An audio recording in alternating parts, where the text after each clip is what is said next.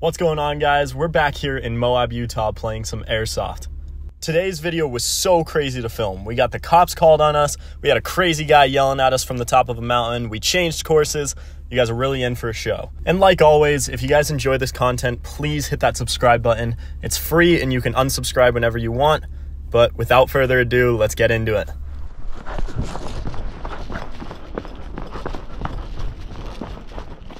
Oh shoot.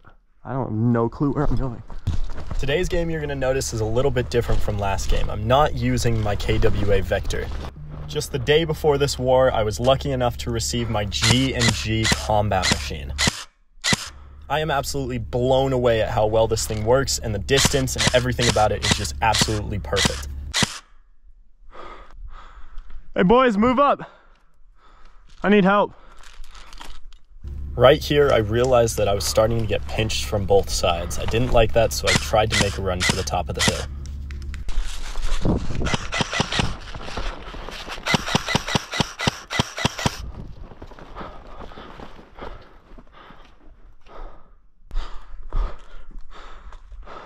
Luckily, just in time, I made it out of range of all of their BBs, and I was able to make it up the hill that I wanted to go to.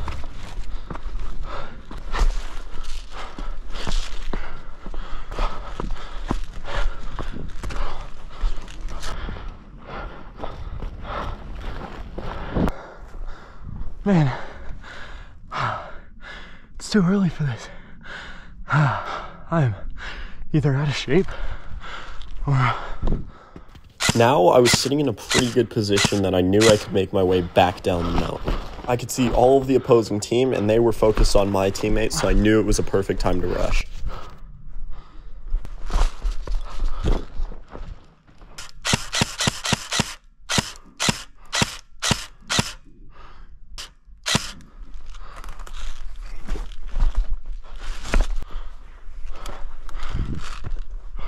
Just as I had hoped, my teammates took out the surrounding enemies and left me with the last guy. This was where things became a little interesting. We saw a guy come up over the hill when we were heading back down to another zone we wanted to play at. He wasn't too happy about us being there.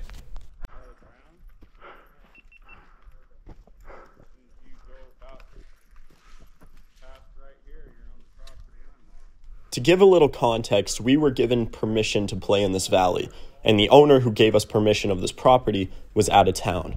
The guy who we're talking to right here was one of the construction workers working on the owner's house and took it upon himself to make a bunch of teenagers really upset.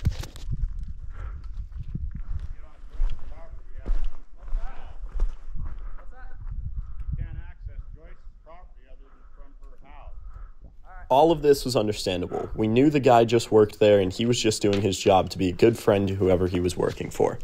We decided it was better to try not to argue and just listen to the guy and leave the area.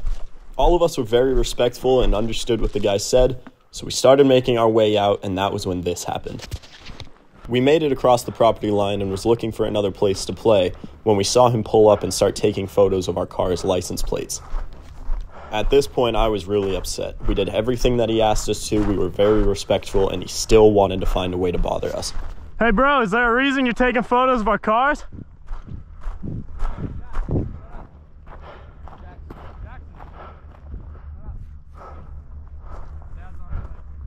Your dad is?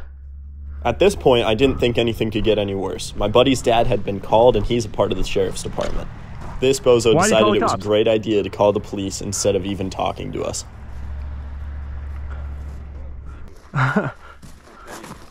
we were so nice to him too.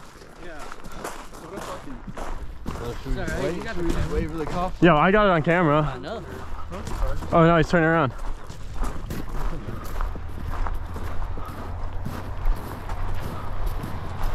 You good?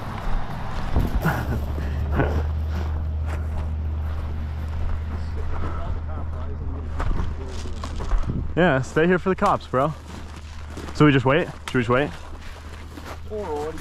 Our property, as soon as he told us to leave, we were super respectful. We got out of the way and Yeah, we were leaving. and he was the one who continued to push stuff. Little did our male Karen know that the entire police force was actually one of our buddy's families. Trayton's family is the cops.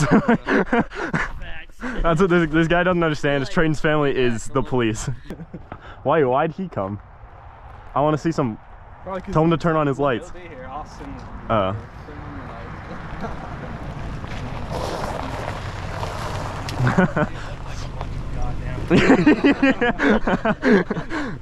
Pretty much. So where were you guys? Up in there. Introducing you to Trayton's dad. This guy basically runs the police department out here. He runs a lot of the stuff, and he took it upon himself to come over here before anybody else did. We were super grateful that we had the upper hand in this situation and that things didn't get worse. We knew it was just best to tell the truth about what happened and leave it at that. 17?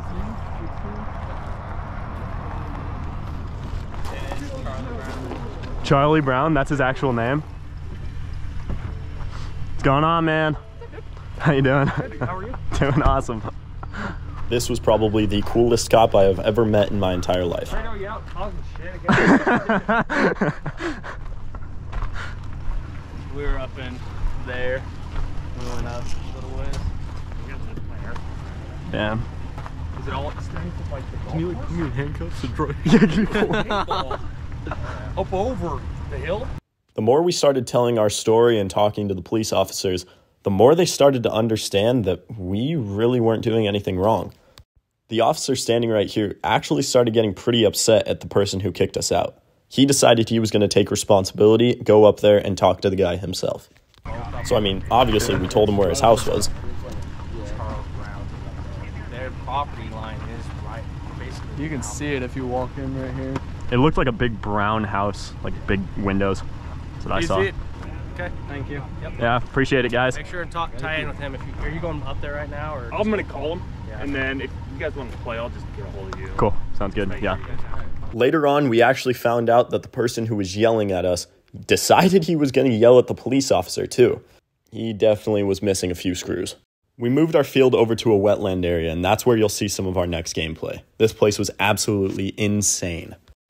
Ready? Three, two, one, go!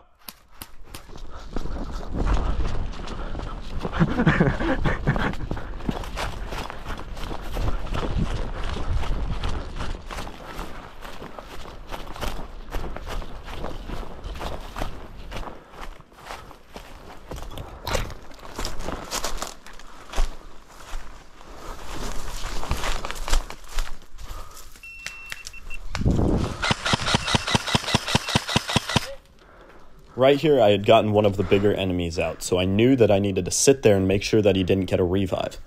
Just as I saw somebody coming up to revive him, I realized that there was a much simpler way to get around. I figured I'd let him get the revive off and go and circle behind their backs.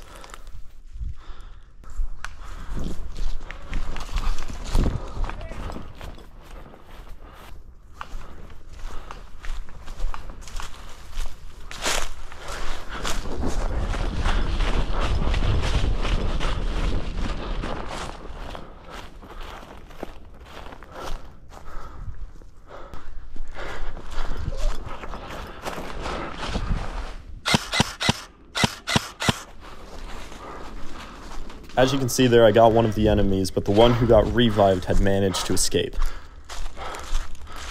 Little did I know this would lead to probably one of the most insane firefights I've had in a while. The whole time while he was turning the other direction, he was slowly picking off my teammates that I had left behind. This just meant I was Me? all alone. Yeah, of course. I'm the only one killing anybody. it's just trading. People push. Oh, Michael's dead.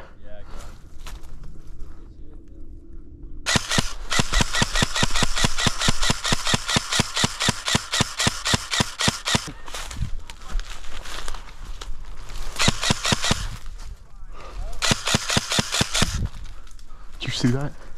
I don't want to like. You're about to get shot.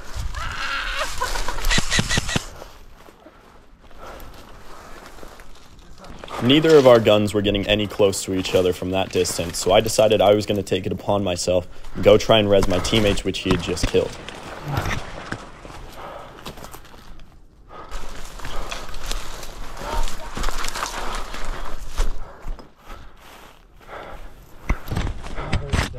Hey, are you alive?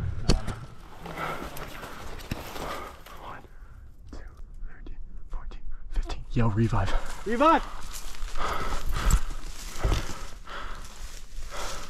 Right here, something I didn't expect happened.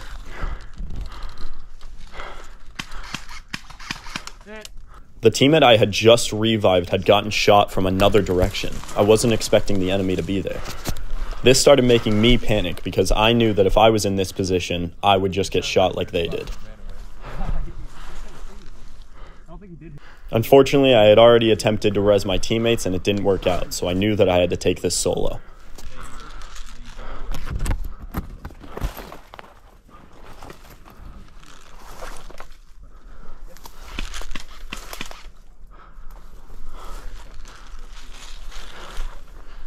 As soon as I got up to the center road, I expected to see him somewhere and we would have a firefight.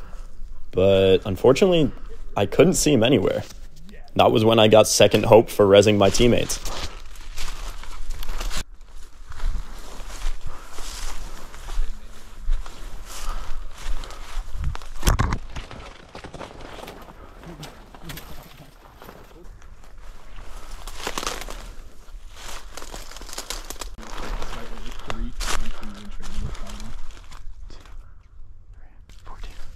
Revive! Oh, that's cute. And just like that, both of my teammates were here. We knew this guy didn't stand a chance. The only problem was is we had no clue where he was at. We thought that he had ran across the road, so we decided we were going to go check over there, but realized he was a lot deeper into the thick of it than we thought. Yes, I see it. He's right behind that big, see that black tree right there? I thought he was on that. He was, he ran across. He's right behind that black tree right there. Watch this, boys. Finally, I had spotted him. He was hiding behind a tree because he knew that I had gotten both the revives off.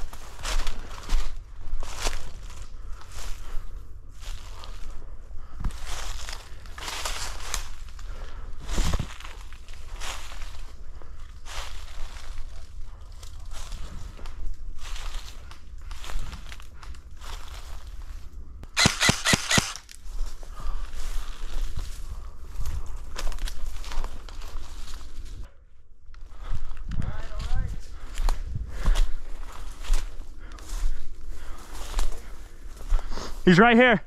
Come towards me. Yep, you should see him.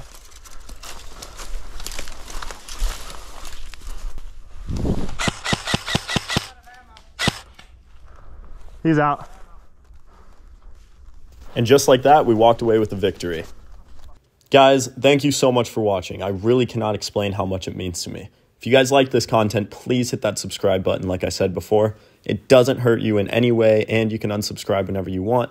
If you want to see more of this, go check out my channel. I also do vlogs, and go follow the TikTok, The Adventures of Meatball. We post awesome shorts on there from all of our games, and yeah, I'll see y'all later.